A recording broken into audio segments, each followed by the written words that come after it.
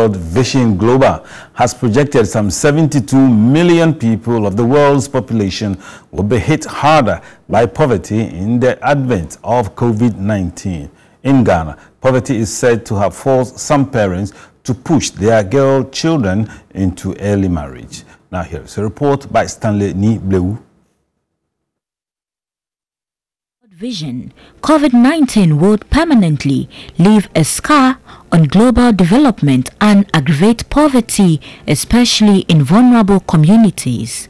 36 million children out of 72 million people projected to be affected globally by the impact of coronavirus would go hungrier, sicker, less educated, and exposed to more violence and abuse according to World Vision. It added the international community ought to prioritize long-term risk from the impact of COVID-19. In Ghana, World Vision has allocated $4.2 million to support the fight. Water, sanitation and hygiene facilities will be enhanced with the support. National Director Dickens Thunde said any hardship caused as a result of the coronavirus could force more girls into child marriage, thereby eroding the gains made. Poverty has been the real major drive uh, into uh, child marriages.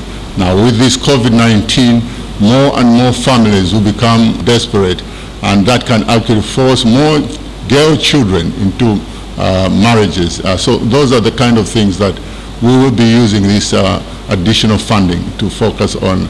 As classroom education remains suspended, World Vision Country Director wants internal control mechanisms to protect children who access the internet to study. Some people are propagating online learning for children. That has its own challenges because we don't want children to be exposed to pornographic material.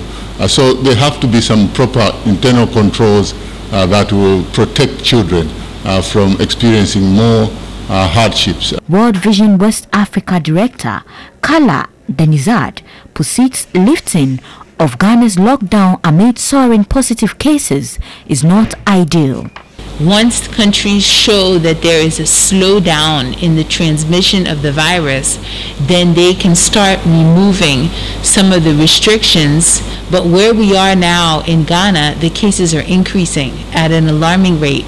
So we're not at the point yet that I think that we can lift up um, those restrictions until we're sure that the education, the sensitization, and the access to PPEs can be put in place so that when these social gatherings occur, people are protected.